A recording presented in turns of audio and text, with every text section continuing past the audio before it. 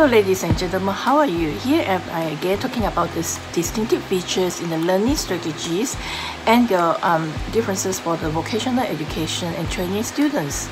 So the vocational education and training students, the abbreviation is VET, are more comfortable in society constructed learning environment where they can interact with their fellow um, learners and the instructors as they undertake the required learning tasks uh, according to Smith in 2003.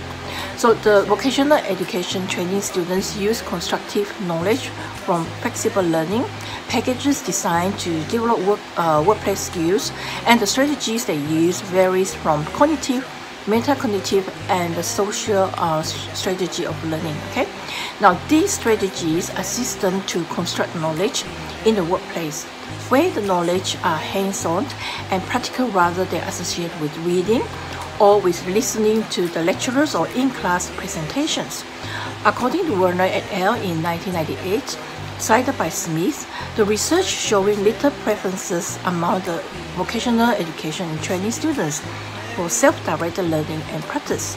So low level of um, metacognitive strategic skills required to develop effective self-directed learning.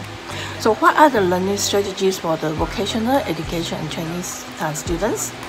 Number one, the cognitive strategy. In the uh, cognitive strategy, they operate directly on information presented and um, to organize and process it uh, to affect the learning. Number two, they use metacognitive strategy.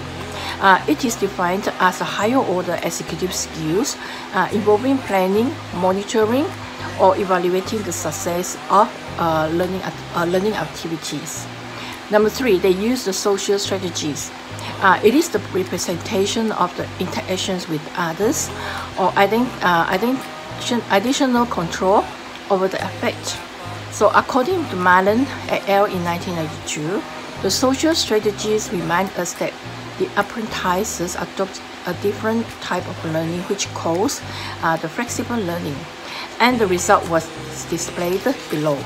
Okay, now after an experiment on the pay-based learning materials uh, and the workplace learning, uh, Marland et in um, 1992 uh, find out that the frequently used cognitive strategies, strategies in her research are the recalling, diagnosis, imaging, application, lining, confirming, translation, rehearsal, practice, trialing, experimentation, and problem solving.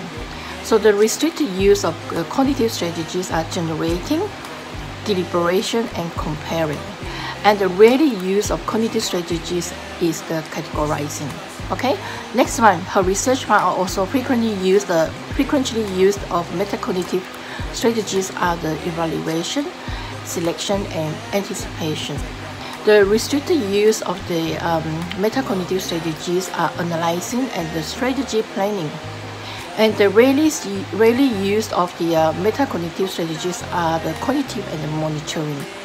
Alright, okay. Next one about the social strategy, she found out her research that the, uh, the demonstration frequent use are the demonstration, scheduled classes, peer discussion, and supervisor discussion.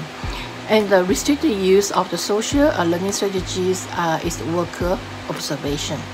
Okay, now the above experiment on print-based uh, learning materials and workplace learning is uh, by Marland et al. 1992.